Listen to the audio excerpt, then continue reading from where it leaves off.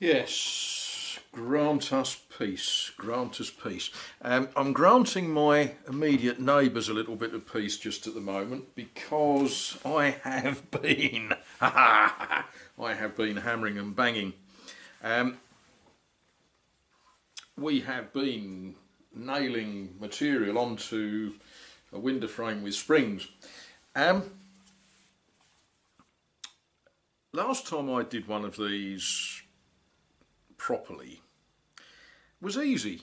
It, it really, really was easy.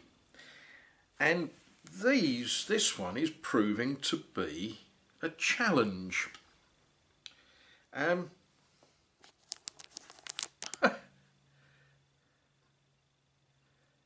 can you see that? If I hold it there, look what it did to a furniture tack.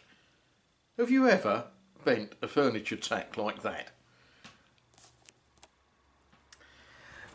These frames, um, I suspect that they were knocked out, well they were knocked out on a bandsaw, that's for certain.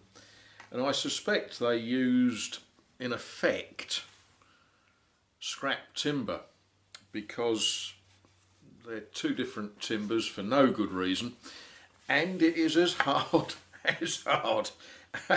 it's taking an awful lot of knocking knocking tacks in.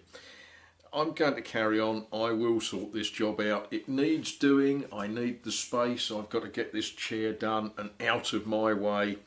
And then we can do fun things with guitars and model railways and all those other good things that I ought to be doing.